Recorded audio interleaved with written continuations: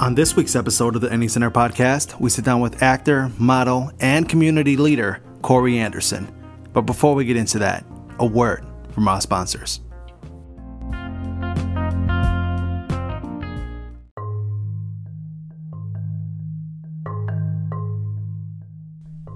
If you haven't heard about Anchor, it's the easiest way to make a podcast. Let me explain. Uh, it's free. I could probably end the list right there, but I'm gonna continue. There's creation tools that allow you to record and edit your podcast right from your phone or computer. Anchor will distribute your podcast for you so it can be heard on Spotify, Apple Podcast, and many more.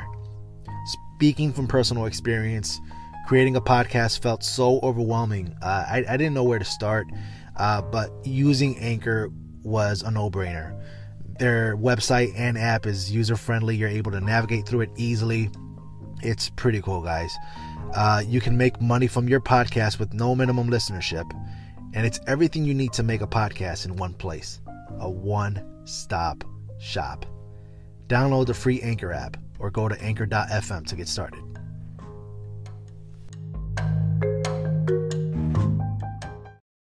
All right, episode number 40. I am here with a community leader. He's a model, he's an actor, he's the CEO of Walking in Purpose. I am here with Corey Anderson. Corey, how you doing, brother? I'm good, brother. How you doing tonight? I'm doing good. I'm doing good. Thank you for jumping on at uh, such uh, short notice, man. No problem. No problem. I'm here. So you've done a lot in your career, and we're just going to start from the very beginning. How did you get into modeling? So I got into modeling through a friend. A friend introduced me to a guy named Blake Martin, and I went to his casting call for Chicago Fashion Week, and I was casted as one of the 30 models to represent Chicago and Chicago Fashion Week, which was 2014, and the ball's been rolling ever since then. Wow. So, did you attend any courses, or how did you uh, pick up the skill of modeling, or did it come natural to you? it was more of a natural thing, but uh, actually once I got introduced to Blake Martin, he and he had uh, like independent class that he would do with me and other models that wanted to get better at the craft. So it was kind of like a God given gift just to be the, knack to be around people and to be on the runway and also to do like things like that. I have a charisma for it as well. So it's been a God given gift for me to be able to do modeling. And once I took this class and learned under his wing, I became better at it each and every time I good opportunity. That's what's up. I, I, I took modeling courses uh, because it was part of a package deal, but I don't. So it came natural to you, but when you did the you did runway, right? Yeah. So I I I'm I did. I started off doing like like fit modeling, like modeling my physique, and then I started doing runway, and then now I'm into like brand ambassador work on brand modeling and promotional modeling. Mm. So did you ever because that that walk on that runway has to be so specific. You have to like I believe you have to start with the right foot and the way you have to turn, you have to turn a certain way. If you come, uh, you know, if you come from the left side versus the right side, that always confused me and always I I always tripped over myself. You you were able to just get that like that? Yeah, yeah, I, I was able to get it, but I it just a lot, a lot of practice, a lot of practice, like a lot of practice, a lot of work. So it just became to just practice and a God given ability, man, and it, it came natural to me. So I, just, I constantly practice my walk either at home or getting for a fashion show. And I feel under his wing, I was able to grow and blossom as a runway model. That's great. And that's actually really good to have somebody under your wing. So with that being said, did you end up falling for any uh, modeling scams out here out there? No, I didn't fall for any scams, but I know uh, me and my wife were were looking at different things, different uh, companies just to learn more from. And then uh, we, we found them out and we contacted other people or other resources and we, they told us that those were scams, so we just avoid them at all costs. So we hadn't been into any scams, but we, you know, we, we use our platforms to pretty much help others not get scammed as well because there are a lot of scams out there that want to take your money and do away with you, but you just we want to help others not get scammed and make it be better. Exactly. So and and the easiest way for them to get you is just name dropping, letting them, let, letting you know that they represent, you know, uh, Tom Ford or Calvin Klein or you know all these big fashion brands that they, you know, supposedly work for. So, what was the first rule of thumb that you learned going into modeling? One of the first rules, I just it was just pretty much have con-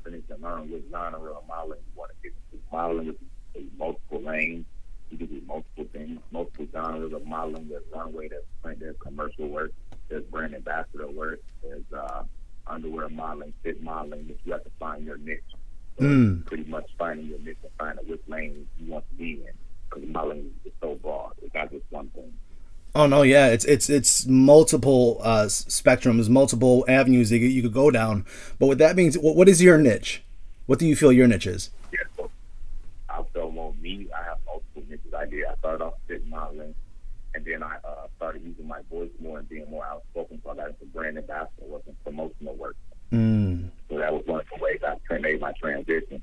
I got into. I did runway and fit. Those were good. Those were okay for me. But I got into. God got me into another lane where I was able to do promotion work and help companies make money and also make money for me and my family. So it's been a blessing. That's awesome. That's awesome. So you were you started modeling in 2014, right? Yeah, 2014, sir.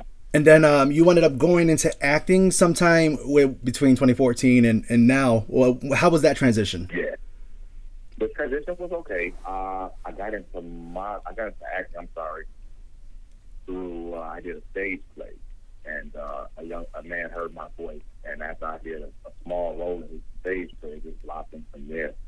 Because Mm. I already had those connections in modeling, and I just wanted to bridge the gap and try to do both of them see which one I liked the most. And being that I had a strong voice, acting was one of my one of my gifts as well that I use use my voice and let it portray who I really am. Having a strong, deep voice, you know, it's helped me a lot. So then, uh, once I got able to transition into being an actor, still doing modeling from time to time, but I primarily do more acting right as we speak. Mhm. I was able to do a stage play and a couple commercials for like Bank of America, and I was able to do a Rush. I did a, a commercial for Rush Hospital, so it's been a blessing to be able to have all these opportunities and be exposed to these different things in the acting world while still learning the game of acting. Yeah, I'm seeing that you've been part of a, a lot of commercials. You did uh, Mike's Hard Lemonade. You did an ad for that in 2018. You did uh, you did Bank of America in 2019. You were in VH1, uh, B uh, a commercial for BET. Yeah, so I was. It was in a VH1 commercial. I did a fashion show for uh, a clothing line called Pink Arrive, and they were featured by BET and Saturday Night Live. And I was able to do Chicago All Star Weekend. I did a fashion show for Chicago All Star Weekend as well. Mm. So everybody has an inspiration in their field. What is your inspiration in film? Uh, inspiration in film, I have multiple inspirations. You know, I'm a man of faith. God has been blessing me tremendously with my craft and uh, my discipline in my craft. Uh, just being able to work on my craft daily, and just to be the best version of myself. And then I like I like all the, the actors. You know, I, I like Danny Fox. I like Denzel Washington. I like all the actors that were before me, Sidney Poitier, that uh, I'm learning from as well. And then just you know, modeling, you know, Tyson Beckford is one of the main guys. And just, uh, I like to look at some of my peers. You know, some of my peers are very talented not to name everyone, but some of my peers are just very good as well. So I try to pick my pieces from everyone and just put my niche on it. Okay, so um, you're you're definitely not one to uh, be scared of, of taking a risk and just jumping into to, to a new environment. Um, if you were to put yourself in, in a in a in a film that's out of your norm, like a genre, right? What genre would you think would be the most challenging for you to do? Uh, well, with acting, it probably would be like a um, more more of a laid back. So I would say like a drama, like a, a action film. I'm not more of a, a action type of guy. I'm more laid back feel. That's my personality. But uh, that would be a challenge for me doing something in acting like drama, because you know in acting you have to act how you feel and you know to say your feelings. Mm. So I'll have to really be prepared to play a drama a drama character. Oh yeah, especially like it's a crying scene or something that involves a lot of emotion. For somebody that's laid back, you need to project a lot of emotion. Yeah. How did Walking in Purpose start? So walking in purpose, I started uh, during quarantine when we went on quarantine from COVID nineteen. Uh, I had a vision and a dream that God gave me about helping the inner city youth, Mm. and um, it was just on my heart just to really help young people be able to have an infrastructure on how to be better, and that, and be able to cultivate their dreams and aspirations. So. I, I partnered with Champ Young Mentorship Program, which is under my mentor, Vondell Kingston, and all my brothers at Champ and I was able to have my class on Saturdays with their course. So uh, due to COVID, we were shut down early, but I was still able to meet with some of my guys individually and also collectively, and we were able to help those young men that, that I had be able to become better young men. And I look forward to the future of walking in purpose and see where God takes it. Wow. So that just kicked off because there was a sign from God to tell you to do this? Yeah, it was. I had a dream. I wanted to really help. I'm always have a heart for children, and I'm a teacher by trade. I teach second grade, so I, I'm a teacher by trade. I love to help young people, especially young kids, cultivate their gifts and be better because our kids need uh, infrastructure. I always tell my wife and the people around me that our children need infrastructure and guidance because some don't have the opportunity that we are blessed to have. So yeah being that I have a platform and my family has a platform, I want to be able to ensure that I'm able to, to pass my gifts along to someone else and be able to be a listening ear. Man, that's amazing. So you you teach second grade, huh? Yeah, I'm a uh, I'm a I'm a teacher's assistant for a charter school, so I help my teacher in the classroom help with our second graders. Oh wow, that's awesome! You you want to teach you know the fundamentals and, and basics to kids on how to succeed uh, there's courses that have been taken out of school. If, if you were to, to put, you know, a course back into school, like let's say home ec, right? Like they don't have that anymore, or like wood shop. What, um, what course would you implement in a school that would better society? Uh, of course, I would love to implement. I would love to see our kids have more opportunities with entertainment and learning radio and stuff for those things. But I think entertainment field can be very lucrative, mm. and I and I think that our children need to have different things outside of the traditional math and science. Those are those those STEM classes are fine, but I think our children need infrastructure and the things that they enjoy because. Our, all of our kids are not going to be engineers or mathematicians or teachers or scientists or doctors or lawyers. There's nothing wrong with those careers. They're very lucrative. But also, some of our kids have passion for arts and other things outside of the normal traditional subject. So I would think that something along those lines where our kids have chess class, you learn about politics, you learn about sports outside of just being professional athletes, and know how to be managers and GMs and those things. So I think our kids need those kind of infrastructures in, in the schools to, to generate interest because they will be interested in things to be better. They'll be more engaged, and then on top of that, they can learn what they're passionate about. And that's what it's all about. That's all life is, building your passion. That's cool, man. Yeah, that, I think that'd be great to to put like to show more of the entertainment industry side into school, kind of like uh to you know kids that are having trouble in math. Show them how to be an accountant for a rapper. You know, show them what a bill would look like to go on. You know, uh, a tour. You know, have them do the budget for all that. I think that'd be a cool way. That's a really cool way. Yeah, that's good. Uh, especially now, that's a good way to get the attention from the kids because they're always on TikTok. They're always looking at these rappers. They're always looking at these singers. Show them how to be that, you know? Yeah, and social media has a platform like Instagram, Twitter, those TikTok, and follow those things and they see their their role models and their influences. So why not? You know, so the ins and outs is the business side. Again, it's, everything has a business side to it. Everything is is for economic purposes to generate revenue. So that shows them the business side and how they can be business savvy along with being professional savvy in their talent. Definitely for that, man. Corey Anderson for principal, man. You you need you need to implement some new changes in these schools to get these kids on their feet, man. Uh, so let, let let's uh, talk about uh, mentoring because you you mentioned that earlier. Um, why do you think it's important to be a mentor?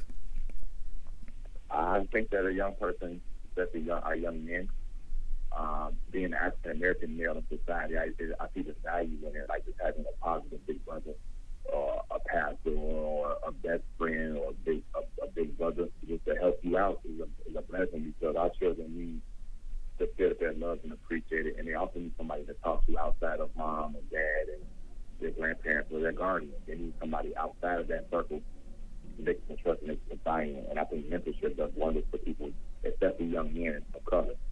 Mm. So, for any uh, young listeners that are listening on the podcast, how could they uh, reach you and your organization? Yeah, so they can contact me through my website, which is www.coryandersonthemodel.com. And they can they can send me their questions. I can answer their emails directly as I'm straight to my cell phone. I can answer any questions they have about walking in purpose. Also, I can also link them with opportunities for modeling as well if they need to. That's what's and up. Um, who was your mentor? Oh, my mentor is uh, I have multiple guys, but uh, Vondell Singleton's been a big brother to me. He's, been, he's my mentor. He's uh, been astronomical in my life and my upbringing as a man. I'm still constantly asking him for help in his growing as a man. I still don't know everything, and I'm willing to learn. And that's one of the things I'm, I'm learning in life today. It's okay not to know everything. It's okay to ask for help, and I think that's an important piece of society for our kids. It's, just feel free to have a big brother or a big sister for our young ladies to ask somebody for help, somebody to lean on outside of their family to, to help them through life. That's what a mentor is, a big brother or a big sister. If you were to mentor your 20 year old self, what would you advise yourself? I would advise myself just to always ask for help, you know, pray more, um, definitely just, uh, and definitely uh, channel your energy with positive things, not like getting into drugs or alcoholism or things of that nature. I would definitely channel your, your energy and your frustration like taking care of yourself, eating right, fitness, you know, prayer, asking big brothers or big sisters for help. Just so pretty much asking for help and just channeling your energy with positive things rather than negative. That's what's up. That's what's up. Uh, what words of advice can you give young models, actors, or community leaders? So just develop their craft. Just stay with it. Don't give up and uh, learn which learn which lane is comfortable for you and excel in it. All right. All right. So, uh, do you have any special shout outs, any special projects coming out in 2021? Yeah, I got a film that's coming out called Windows is Stop. It's about the gun violence in Chicago, about four young brothers. I will be playing in the film. It's coming out in 2021. And then a few shout outs I have is uh, my wife's business, Cutting Edge Butters, LLC. You can find her at www.cuttingedgebutters.com. Chancellor Mentoring, I partner with who's doing Walking in Purpose. They have a website called www.champsmentoring.com. Karen's Cookies, www.karenscookies.com. Also, a young man by the name of Thaddeus Jones. He does graphic design. His his Instagram is New Chapter Design LLC. And uh, T Vision, which is a videographer and photographer in Chicago, a young man I've mentored.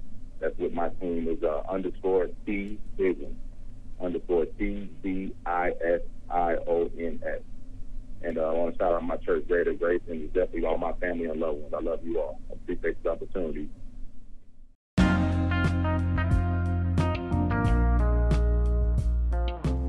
If you enjoyed this week's episode, please make sure you hit that subscribe button to stay centered on all Indie Center podcast episodes. If you are an independent creator and have a story to share and want to have a sit down, please email me at indiecenter.podcast at gmail.com. That's indiecenter.podcast at gmail.com. If you have sponsorship inquiries, I'd love to help local businesses. Please email me at indiecenter.podcast at gmail.com. Until next Monday, guys. Peace.